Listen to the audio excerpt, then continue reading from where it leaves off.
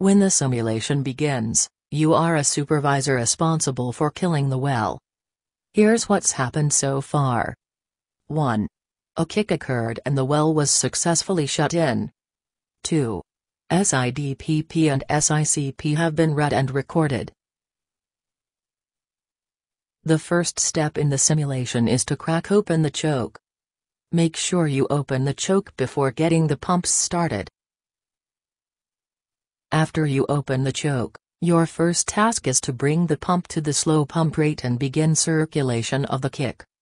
Your goal is to maintain casing pressure constant until, drill pipe pressure is equal to initial circulating pressure.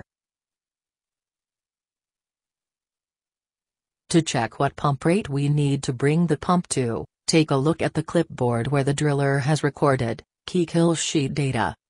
Here, we can see the desired pump rate, for kick circulation. You can also double check this and other key well parameters on the kill sheet. Bring the pump on in stages, increasing by 5 SPM each time. To increase the pump Roger speed, that. contact the driller.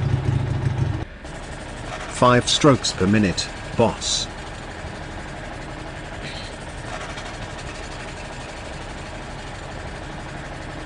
Got it. Coming up 10 strokes per minute. When the pump speed increases, casing pressure will increase. Open the adjustable choke to keep casing pressure constant. When the pump is at its full desired speed and pressures have stabilized, click the ICP reached button on the clipboard to move on. Stabilized pressure means that pressure on both gauges has stopped moving up and down, and remains essentially the same with only small variations. Enter the ICP, pressure on the drill pipe gauge, to write it, on the clipboard.